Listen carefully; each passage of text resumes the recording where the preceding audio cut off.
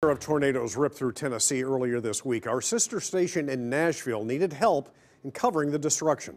Fox 2's Mike Colombo and photojournalist Wade Frankham traveled there, and here is what they saw.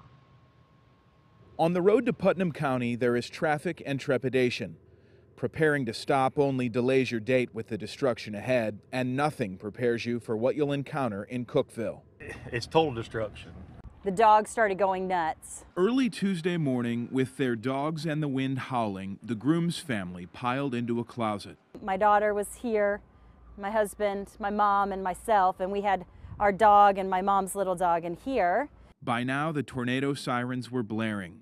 Julie says they could feel the twister inching closer.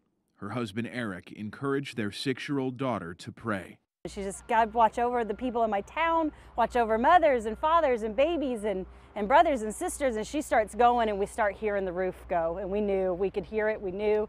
And my husband and I stopped, and we just, we just looked at each other, and it was that moment of like, it's here, this is real, and it's happening. And we just looked at each other, and, and I just, I grabbed my daughter and laid on top of her, and Eric laid on top of my mom, and he held the dog by the collar and it it went the whole house just went. In an instant it was over.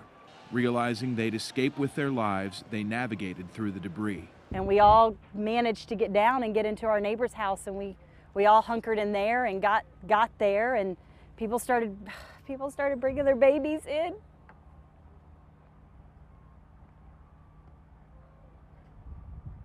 I'm sorry I'm sorry that neighbor was Daryl Jennings, a longtime firefighter in Putnam County. On that fateful morning, he became the shepherd of North McBroom Chapel Road, gathering a flock of scared neighbors. I had to act. And so I was standing right here in the front yard, uh, and I had my radio on me telling them, I need everything we can get. Everything around me is destroyed. Daryl says the moment the storm had passed, he walked out of his front door, saw the destruction, and heard his neighbors screaming. Without thinking, he brought them to his home and began giving them treatment. We were walking them in and putting them in the living room and trying to do the treatment that we could with, you know, the head injuries we couldn't really do a lot with. My two older children who live here carried the babies to the church uh, to be treated. We witnessed tears from the terror, but also hope amid the horror. After holding on for dear life early Tuesday morning in Cookeville, Seth Wells and Danielle Theophil held each other. When the debris settled, romance was in the air.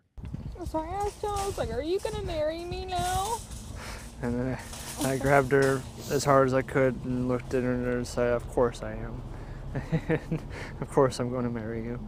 Jackie Embry and her husband own the White Dove Barn wedding venue in Beech Grove, Tennessee. They heard about Seth and Danielle's engagement and contacted us wanting to help. But I just wanted to say your story was so, um, you know, it just really touched my heart. Um, I literally started crying. Um, so, with that being said, we, my husband and I would be more than honored to give you guys a free wedding at our venue in Beech Grove. We'll be more than happy to accept your your your gratitude and and uh, you know whatever whatever you have planned, whatever we have planned. Once we get to that point, yeah. we'll be in touch and then go through the process and and make yeah. it happen. Those little glimmers of hope on the horizon helping to ease the guilt Shannon Fisher feels after the seemingly arbitrary way her home was spared while her neighbor's was destroyed. I lost some things that were a little sentimental to me and that out of a shed in the backyard and that made me cry. And I like then I thought why am I crying? Like they lost everything and I lost a Christmas ornament? Like how is that okay? That's why she's committed to helping however she can or by offering her can Offer my bathrooms my bathrooms work so I offer my bathrooms to the people who need them the volunteers come on in People come together in times of disaster because they know that there's something going on and we need to do that just as human beings whether it's human instinct or the human condition. All right.